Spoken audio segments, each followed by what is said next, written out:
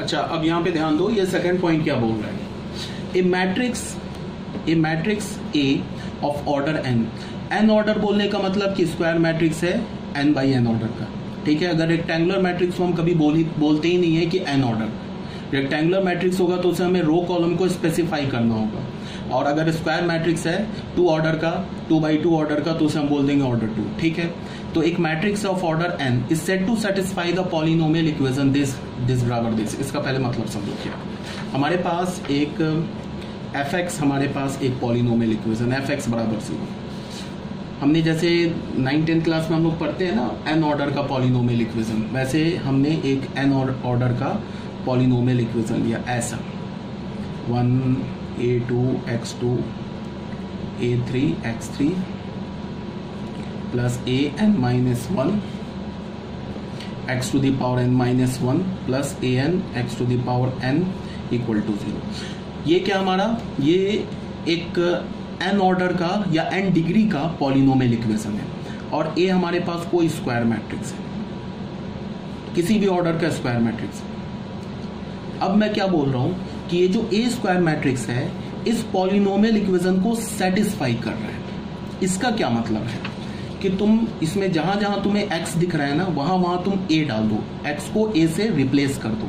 तो ये क्या हो जाएगा? A to the power zero A one A to the power one A two A to the power two A three A to the power three plus and so on A to the power n x A पे power n minus one plus A n A to the power n equal to null matrix यहाँ zero लिखा है ये ये नल लिखा है। क्यों? क्योंकि लेफ़्ट हैंड साइड में सब एक मैट्रिक्स है तो राइट हैंड साइड में भी मैट्रिक्स होना चाहिए। ऐसा नहीं होगा कि matrix is equal to real number ऐसा नहीं कर सकते। अब ध्यान दो, पहली बात। हमने ए को स्क्वायर मैट्रिक्स क्यों बोला? बिकॉज़ यहाँ तुम देखो ए पे पावर टू है। तो ए का पॉजिटिव इंटीग्रल पावर है. ए पे पावर थ्री है. ए पे पावर एन माइनस वन है. तो ये सब चीज़ तभी डिफाइंड होगा ना जब ये स्क्वायर मैट्रिक्स होगा. रेक्टेंगुलर मैट्रिक्स का ए स्क्वायर ए क्यूब ये तो डिफाइंड ही नहीं होगा. तो जब भी कोई मैट्रिक्स अगर किसी पॉलिनोमियल इक्वेशन को सेटिस्फाई कर रहा है तो उसका क्या मतलब है? वो मैट्रिक्स एक स्क्वायर मैट्रिक्स है. ठीक है? अब इसको तुम कैसे लिख सकते हो कि किसी भी मैट्रिक्स अगर हमारे पास ए स्क्वायर मैट्रिक्स है तो उस पर जो पावर ज़ीरो होता है वो एक आइडेंटिटी मैट्रिक्स होता है सेम ऑर्डर का। ठीक है ना? अगर एक ऑर्डर टू बाई टू है तो एक एक ए मैट्रिक्स का ऑर्डर टू बाई टू है तो अगर तुम इस पर एक ज़ीरो लोगे पावर लोगे तो ये टू बाई टू ऑर्डर का एक आइडेंटिटी मैट्रिक्स आ जाएगा। जैसे अगर मैंने ए ले लिया ऐसे वन टू थ्री फोर ठीक है ना?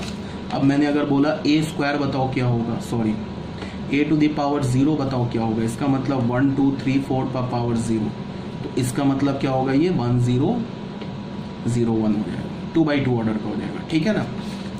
अब तुम देखो, ए हमारा स्क्वायर मैट्रिक्स है तो इसको हम फिर कैसे लिख सकते हैं? यहाँ से ध्यान से देखो। इसको मैं ऐसे लिख सकता हूँ। A to the power zero, I. I का ऑर्डर क्या होगा? आइडेंटिटी मैट्रिक्स है। इसका ऑर्डर क्या होगा? जो एन का ए का ऑर्डर होगा। अगर मैंने ए को एन बाई एन ऑर्डर मान लिया तो इसे हम आई एन लिख लेंगे। मतलब ये भी क्या हो जाएगा? Identity matrix n by n order का हो जाएगा। प्लस क्या हो जाएगा? A to the power one same cheese. A two and so on A to n A to the power n is equal to null matrix ये ओ लिखा है, ठीक है? तो इसी को हम बोलते हैं क्या? कि हमारे पास कोई पॉलिनोमियल इक्वेशन है और उस पॉलिनोमियल इक्वेशन को कोई एक स्क्वायर मैट्रिक्स सेटिस्फाई कर रहा है। तो हम क्या करेंगे? एक्स को उस स्क्वायर मैट्रिक्स से रिप्लेस कर देंगे। ठीक है? तो इसी बात को यहाँ पे लिखा हुआ है। देख लो, ये पढ़ लेना। यहाँ पे। ये बात यहाँ लिखी हुई है, ठीक है? अब नोट में क्या मैं बोल रहा हूँ? वो देख लो।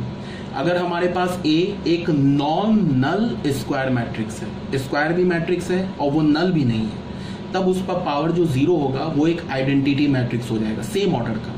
मान लो एक ऑर्डर एन बाई एन है और वो नल भी नहीं है तो उस पर पावर अगर ज़ीरो लोगे तो एक आइडेंटिटी मैट्रिक्स आ जाएगा एन बाई एन ऑर्डर का। क्लियर है? If A is not a null matrix अब अगर हमारे पास कोई नल मैट्रिक्स है तो नल मैट्रिक्स पर पावर ज़ीरो वो डिफाइन नहीं होता है।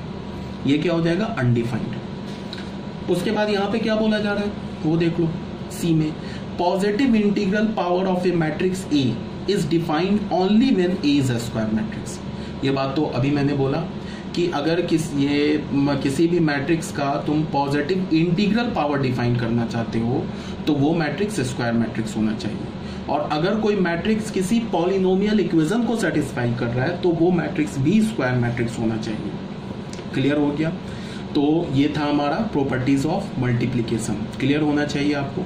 अब देखो हम लोग क्या करेंगे? जैसे एनसीईआरटी के बाद ना बच्चे अब डिमांड करेंगे कि अब एनसीईआरटी में क्या है? ट्रांसपोज सिमेट्रिक स्क्यू सिमेट्रिक तो उससे पहले हम लोग कुछ प्रॉब्लम्स देख लेते हैं। उसके बाद फिर हम लोग एनसीईआरटी के नेक्स्ट टॉपिक पे आएँगे। क्योंकि सिलेबस कंप्लीट करने से ज़्यादा इंपॉर्टेंट है समझना। ठीक है? डिफरेंट टाइप्स के प्रॉब्लम सॉल्व करना। एक बार क्योंकि मैथमेटिक्स में क्या है कि जब तक आप क्वेश्चन नहीं सॉल्व करोगे, आप मैथ सीख नहीं सकते तो कुछ क्वेश्चन जो इजी क्वेश्चन है, वो मैं नहीं करूँगा, वो मैं तुम्हें दे दूँगा सॉल्व करने के लिए। अगर तुम्हें कोई डाउट होगा तो तुम पूछ सकते हो। और जिस क्वेश्चन को मुझे लगता है कि नहीं सॉल्व कराना चाहिए, वो मैं सॉल्व कर दूँगा।